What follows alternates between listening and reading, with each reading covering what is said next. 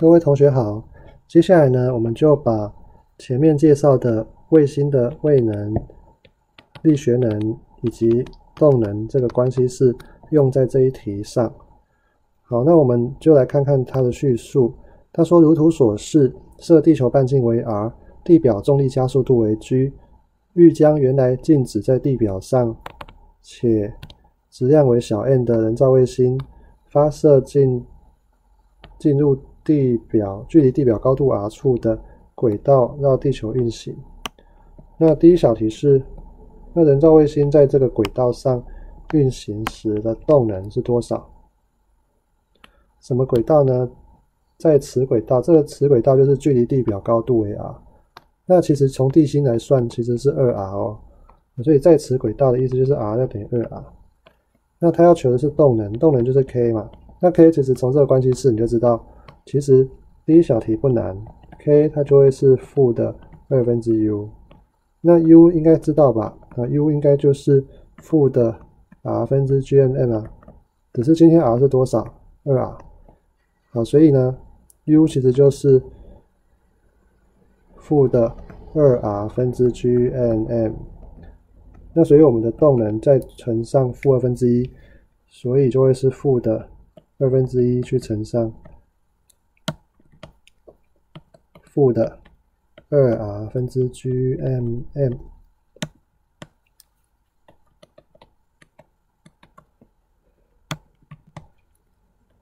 结果就是四 r 分之 g m m，但跟答案不一样哦，那是因为它把重力加速度换掉了。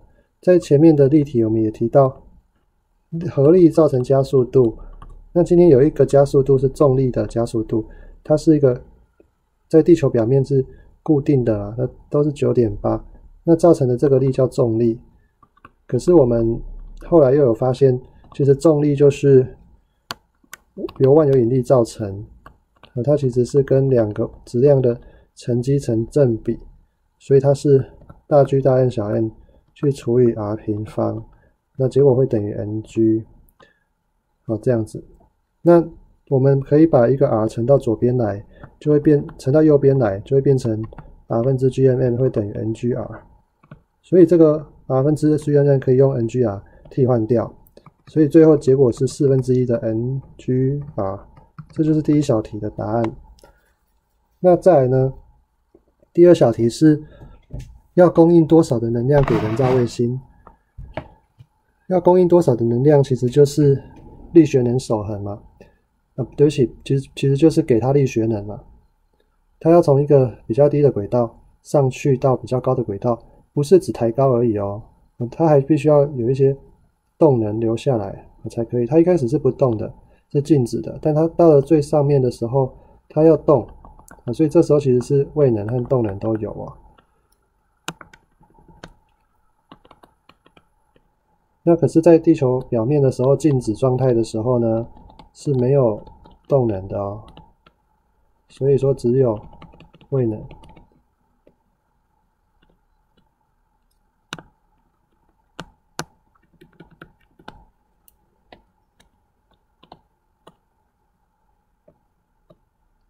啊，所以呢，意思就是我们一开始的力学能，再去加上一些能量，最后就要到达二 r 处的。高度，那在那边运行。好，这个 W 做功就是需补充的能量。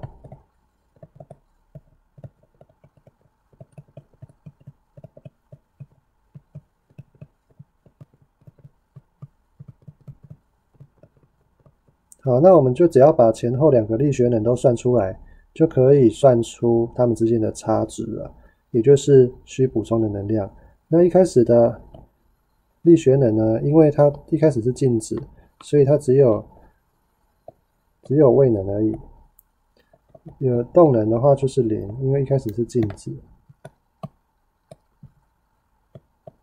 那我们慢慢来算好了啊。这个一开始的力学能是位能加动能，但是动能呢这时候是零，所以结果是。负的 r 分之 gmm，那也可以写成负的 ngr。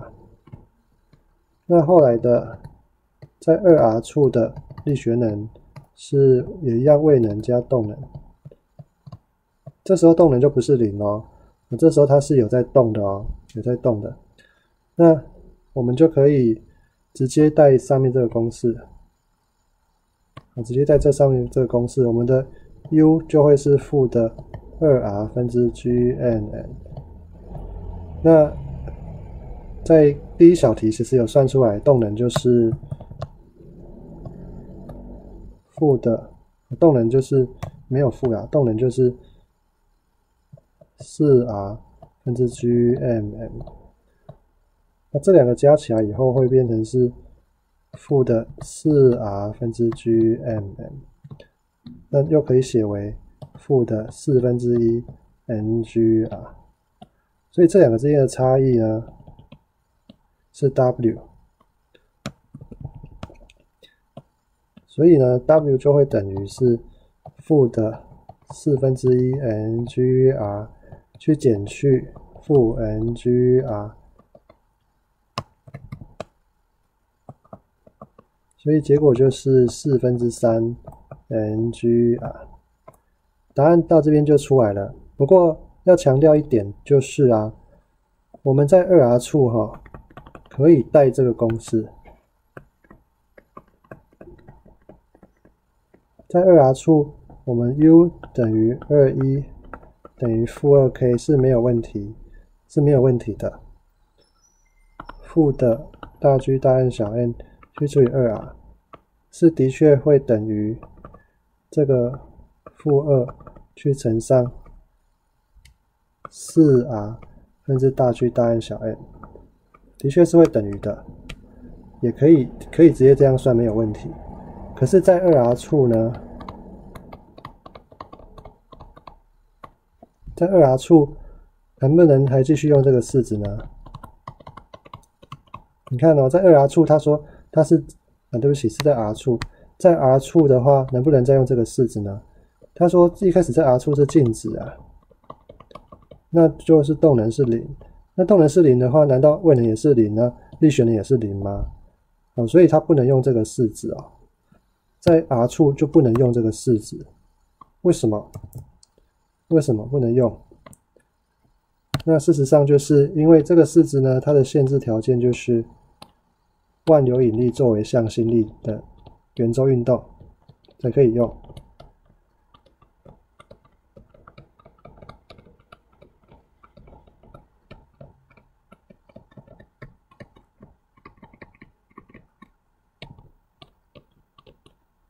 我们前面介绍它的时候，就是利用万有引力作为向心力去把它推导出来的啊，所以我们没有办法。用在别的地方，你只能用在万有引力作为向心力的情况，